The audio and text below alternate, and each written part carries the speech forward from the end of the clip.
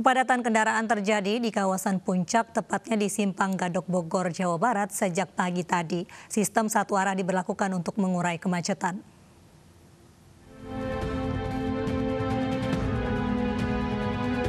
Kepadatan kendaraan terjadi di kawasan Puncak, tepatnya di Simpang Gadok Bogor, Jawa Barat sejak Kamis pagi.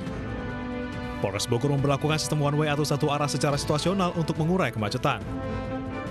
Sekitar 300 personel gabungan ditugaskan di sejumlah titik rawan kemacetan. Padatnya lalu lintas disebabkan banyaknya wisatawan yang memanfaatkan libur panjang Tahun Baru Islam.